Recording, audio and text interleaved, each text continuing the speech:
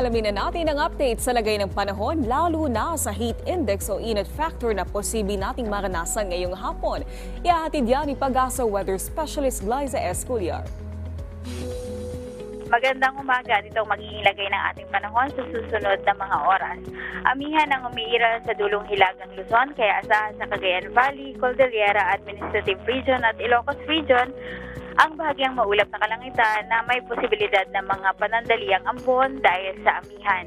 Sa Davao Region, Caraga, Aurora at Quezon ay easterlies ang umiiral o yung hangin na nanggagaling dagat Pasifiko kaya naman po asahan ang maulap na kalingitan na may kalat-kalat na pagulan at pagkidlat pagkulog sa mga nabanggit na lugar.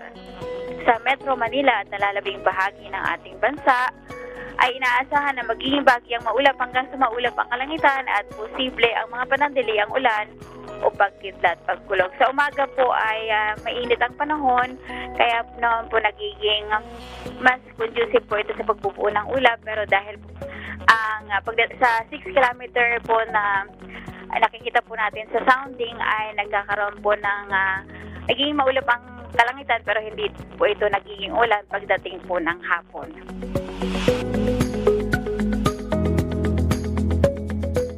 Ito naman po ang magiging ah, forecast natin o magiging tayo ng panahon sa susunod na tatlong araw.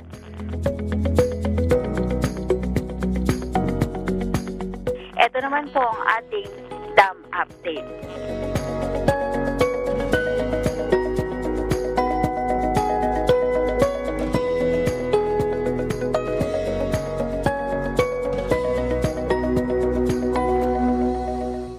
Ang inaasahang pinakamataas na heat index na maitatala ngayong araw ay nasa 40 degrees Celsius dito sa may Iloilo City at sa may Tacloban City. Dito naman po sa Metro Manila, ang inaasahang heat index po natin ay inaasahang aabot ng 35 degrees Celsius. At yan po ang latest mula dito sa Weather Forecasting Center ng Pag-asa. Ito si Glyza Esculiar, nag-uulat.